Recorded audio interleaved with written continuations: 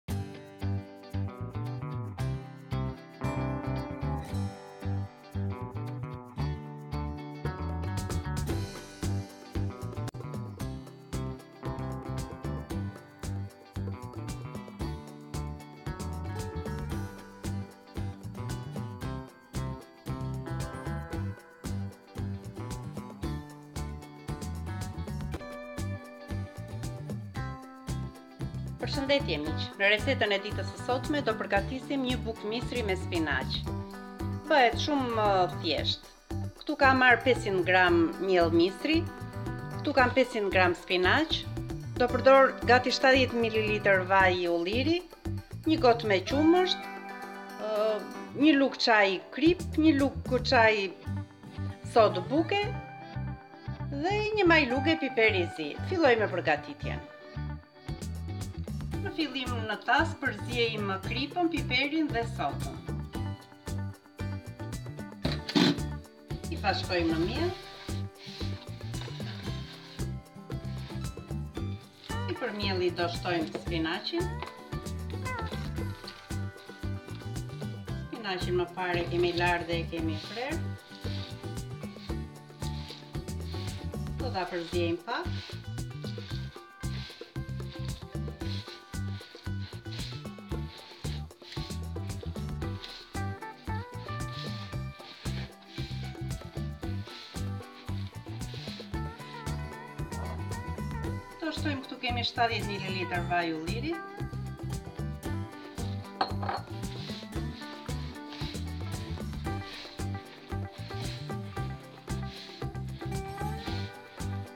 Filloj të shtojmë pak nga pak qumështin. Mundet të bëhet edhe me ujë dhe bëhet shumë e mirë, po unë po e bëj me qumësht.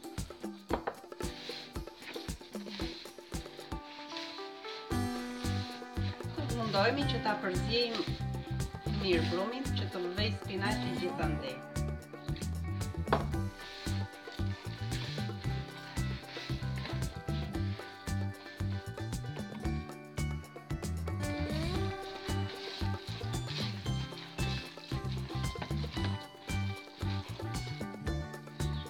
Duhet që brumi të bëhet në këtë masë.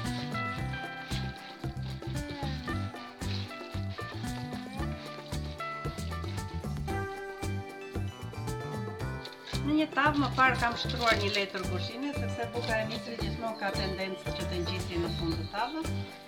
Për ta hequr më me lehtësi, po përdora letër. Fare mirë mund të bëhet edhe duke e lyer me vaj dhe pudrosur me miell. E hapim në gjithë sipërfaqen e tavës, duke e ngjeshur pak. Do ta vendosim në furrë në temperaturën 120 gradë. Buka është gati për në furrë.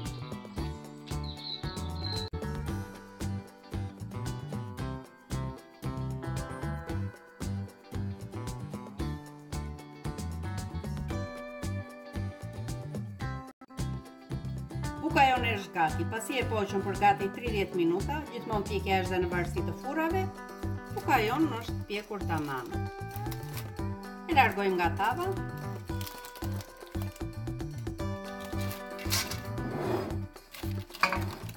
Dhe me kujdes mundohemi ta shkëpusim edhe nga letra.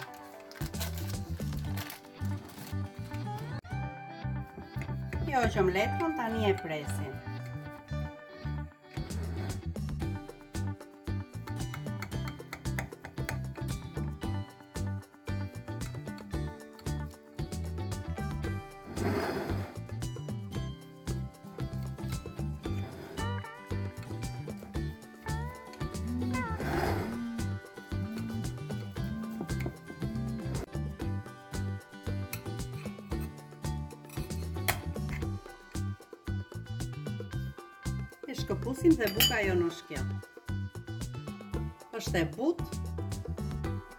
Është e shëndetshme, është dhe e shijshme.